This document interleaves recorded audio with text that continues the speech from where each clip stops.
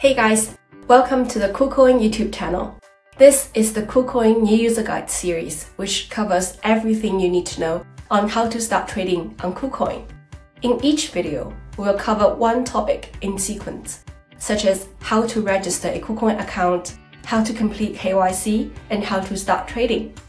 These are all important steps that you must learn as a new KuCoin user.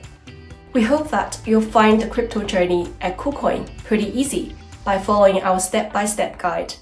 And we'll also help you avoid the common mistakes previously made by other KuCoin users, as well as provide some useful tips.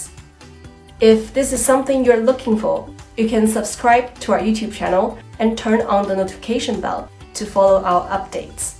And do leave us a comment if you want to see more topics or have any other questions about the content. So today, we'll look at how to transfer and withdraw funds on KuCoin. First, we need to understand what is each KuCoin account for. Then you'll be clear about which account to use when making a certain type of trading. KuCoin offers five different account types, including main account, trading account, margin account, futures account, and finance account. The main account is the most commonly used one, which stores your asset, and you can deposit and withdraw your asset from this account. Trading account is used for crypto to crypto trading, so you need to transfer your crypto assets to the trading account before making a spot trading. We've already learned how to make crypto trading in our previous session. Margin account, as its name tells, is used for margin trading and borrowing and you need cryptos in your margin account before you make a margin trading. A future account is, of course, used for futures trading. Last but not the least, what is a finance account?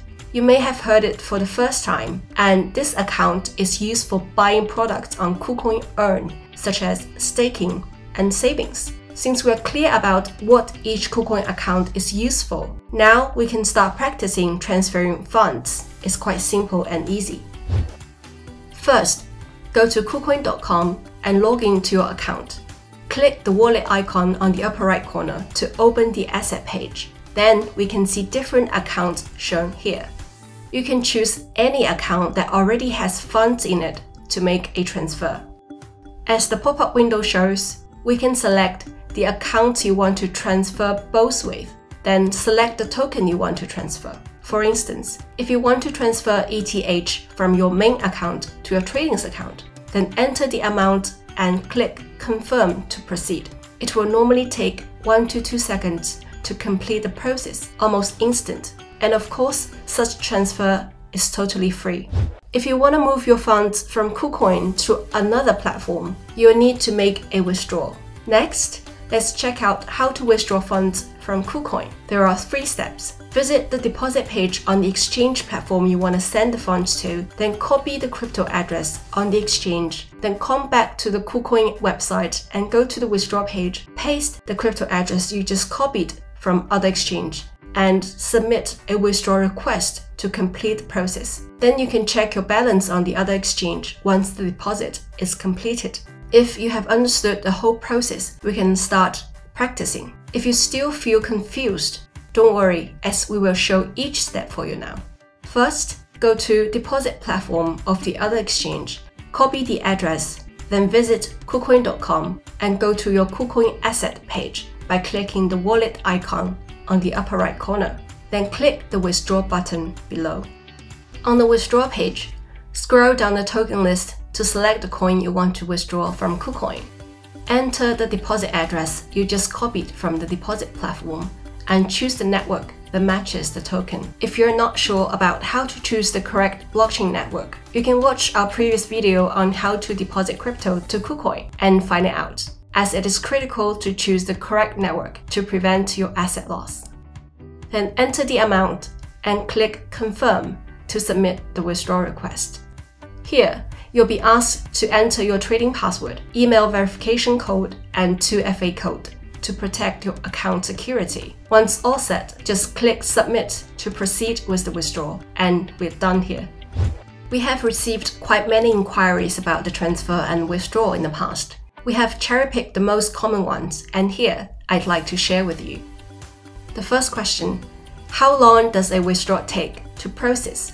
It normally takes a few minutes to a few hours, varying from coin to coin. Second, why does it take a long time to receive my withdrawal? KuCoin tries to proceed every withdrawal ASAP, but delays sometimes happen for various reasons, such as network congestion. You can contact our online support to check the details if you need to. The next question What is the fee of crypto withdrawal? KuCoin charges a small amount of fee for withdrawal, and it depends on the coin as well as the blockchain network. For instance, usually the transaction fee of TRC20 tokens is lower than their ERC20 counterparts. You can check the withdrawal page on KuCoin for more information. The four questions What is the minimal amount to withdraw? The minimal amount also varies from token to token. You can also refer to our withdraw page for more details. The next question What if I withdraw a token to the wrong address? Look, this is a very important question as a withdrawal to the wrong address will lead to asset loss. KuCoin cannot recover the funds once it has been taken away from our platform.